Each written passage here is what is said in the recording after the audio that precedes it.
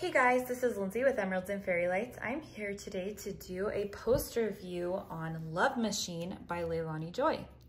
This is from Die Moon Shop. This is a 30 by 38 and um, this was part of an experiment that I was doing with Die Moon Shop's um, sizing as far as their pictures go. Um, if you're unfamiliar with their shop, you can um, go on and pick the size that you would like of a certain image. So for instance, this one was offered, the small size was 30 by 38, then there's a medium size and a large size. This is also offered in round um, candy. They call them candy, but they're, um, they're also called crystal drills elsewhere. And then in rounds. Did I say that? So square, candy, and round. This picture, um, as far as the crystals go, I think rendered a lot better than the last crystal one that I did. Um, it's, it's a little bit more visible, and especially I think in this bottom area, it's definitely more rendered. Um, where it gets fuzzy again is in the top. Um, and there's some stuff with her hair that I don't know translated as well with the crystals. Um, I do have to say that, um, like in my last video, a lot of people had brought up, and I do think this is the case, that crystals can be harder to do an image just because there is not a large variation in crystal colors like you have with your typical DMC. And so um, you're not necessarily able to get such great, um, even though there was 35 colors, there's still, it's more difficult sometimes to get more defined images within, with crystals. Um, I talked to um, Brandy with You Can Call Me Butter. She, by the way, her channel name is the best. you should go check out her channel if you haven't yet. Um, I will link up below. But she actually did this one in the largest size. And um, so she sent me a picture. I will put a picture in right now um, of that. And then I will give you a picture of this one and then those kind of side by side. So I will put that in right now.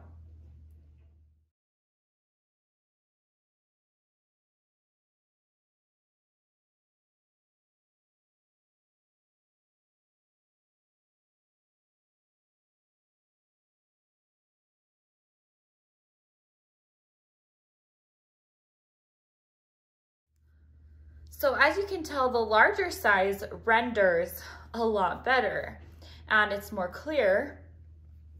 Um, um, Randee did say the only problem was is that hers was slightly wrinkly that she just couldn't get to get straight. So they were gonna send her a new canvas. Um, so besides the canvas being a little wrinkly, this one is a little wrinkly as well.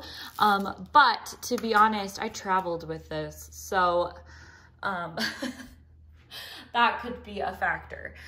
Um, but I think as far as this image goes, it just it just definitely looks better in the larger size, which most most do. size matters.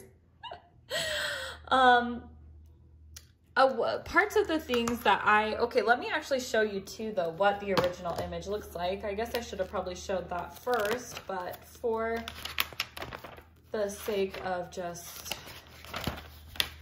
me find it in my logbook. So um, this is the image that we are looking at. So overall, I do think that you can see some things pretty clear in the small size. Like you can see the hearts um, that are dripping. You can see her drink glass very well, um, her top. You can see the stripes.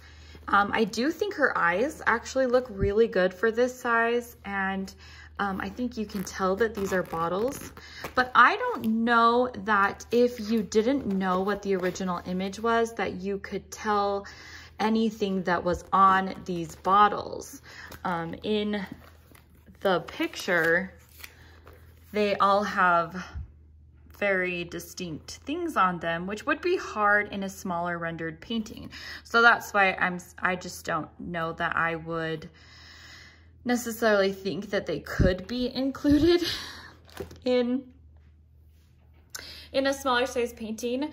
The one thing that I did not understand was why her hair right here, if you can see, is is pink, is light pink when it gets darker in the image. And so as you can see, instead of these going darker, the they actually go lighter, which I kind of think the darker might have helped define it better.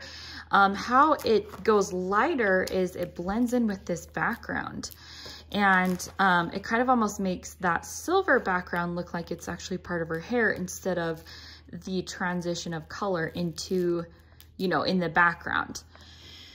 Um, so there's that. I do think that in, uh, in a regular drilled one, that might actually look better. But um, as far as this one goes as like crystals, I do think this is an incredibly neat image to have in crystals. like, like the vibrant colors is really neat. So I'm really tempted to do this one in the large version. I think it would be really fun. Um, as far as the quality goes of the stick of this canvas, I didn't have any issues. Um, there were, I, I just didn't really have any problems with this canvas. Um, like I said, it is a little wrinkly. That is um, my fault because it did travel with me. And so um, it kind of got moved around a lot and rolled up a couple different times.